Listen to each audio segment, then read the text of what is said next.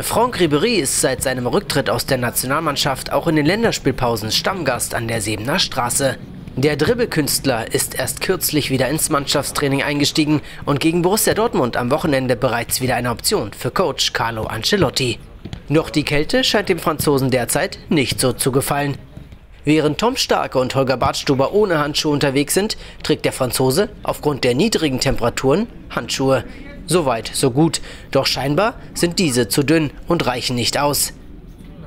Kein Problem, dann gibt es eben ein zweites Paar Handschuhe oben drüber. Man muss sich nur zu helfen wissen. Franck Ribery und der doppelte Handschuh. Ja, man sehen noch.